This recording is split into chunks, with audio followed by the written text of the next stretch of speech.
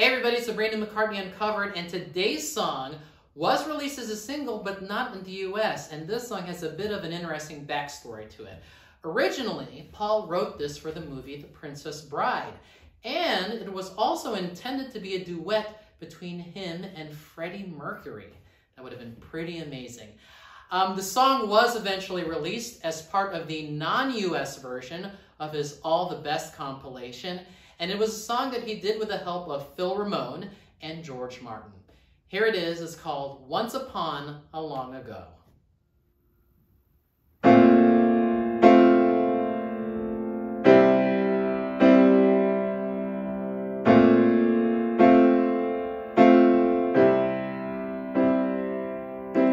Picking up scales and broken chords, puppy dog tails in the House of Lords.